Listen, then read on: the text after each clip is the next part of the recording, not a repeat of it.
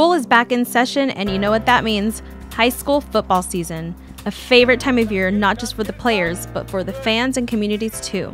You know what else is back? The heat. Triple digits have returned in many parts of California, and it's safe to say it will be hot as the calendar flips into September. Temperatures up and down the state are expected to continue being hotter than normal in the upcoming days. We've already seen broken records, and it looks like that trend will continue. Just to give you an idea of what to expect, get this. Friday, Los Angeles will hit 104, San Diego and San Francisco will see 90, Fresno 107, and Sacramento is expected to be at 110, a temperature that has never been seen in September before. Despite extreme heat, high school football won't be on the sidelines. Athletes should take special precautions while playing and practicing when temperatures rise.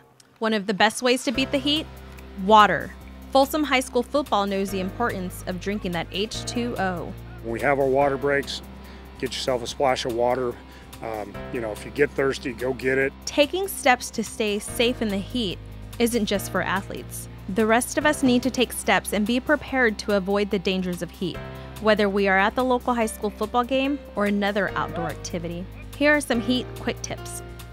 We can't stress this enough. Stay hydrated, especially those that work outdoors.